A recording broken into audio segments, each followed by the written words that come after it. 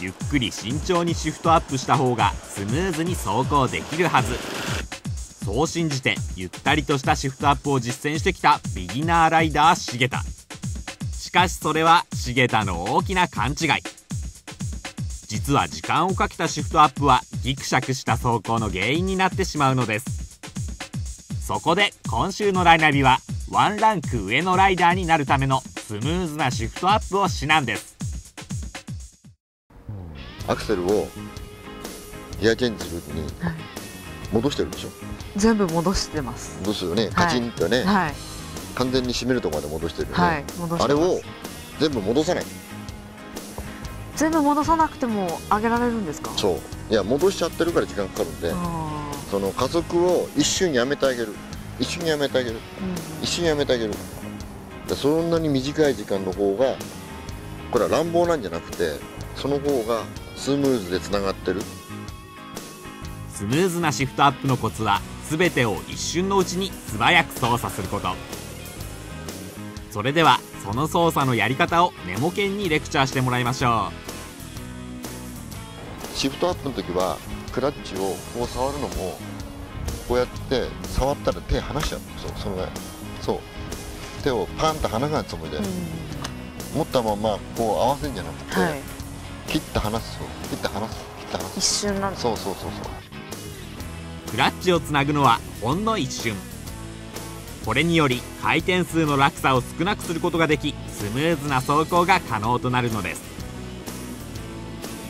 それではアクセルの操作はどのようにするのでしょうか？加速時にさここまで戻すんじゃなくてこうやってこれでここの時にもゲージにしてる早くやそうでしょうんその力を抜いてあげないんだ抜いてあげないんだ全部戻すそうそうそうそうそうそうそうそうそうそうそうそうそうそうそうそしたら普通に加速した時にバーンバーンと音は変わってるけどずーっと加速してっちゃうガクンってならないそうわかりましたアクセルは全て戻す必要はなく加速を一瞬やめるだけで十分そしてそれと同時にクラッチやペダルの一連の動作も小さく素早くこなすことがスムーズなシフトアップには求められるのです。それではレクチャーを受けた重田のシフトアップを見てみましょう。ネモケンはこの重田のシフトアップをどう見るのでしょうか？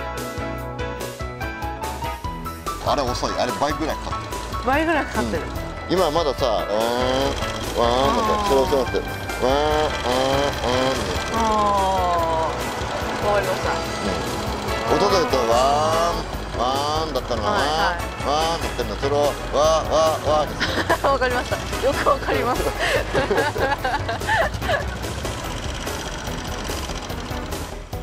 さあ今度はテンポよくスムーズにシフトアップができたのでしょうかこれシフトアップ。はい。びっくりしました。あうまくいった。すげえあのあそこでううおーって言っちゃいました。んではそうでしょ？本当戻に全部戻さなくていいの。そう。全然スムーズでしょ？本当に本当にスムだっていっーズでしたぱいシフトアップしたくなるからはだから 余計にダーンダーンダーンってしょっちゅうシフトアップするようになる。はいはいはいはい。いいね。ギアチェンジ大事だね。ギアチェンジでこんなに音が楽しくなっちゃう。本当ですね。ねえみんななんとなくギアチェンジしてるけどギアチェンジコツがあるしうまくできるようになった方がやれること全然変わってきちゃう、はいはいうん。そうですね。これがだから本当はカーブも全部いいんだっていうことにねお話がつながってきますんで。はい。はい。わかりました。ライダースクラブ1月号付録 DVD でもギアチェンジのコツを詳しく解説。スムーズで確実なギアチェンジのノウハウが満載ですぜひご覧ください。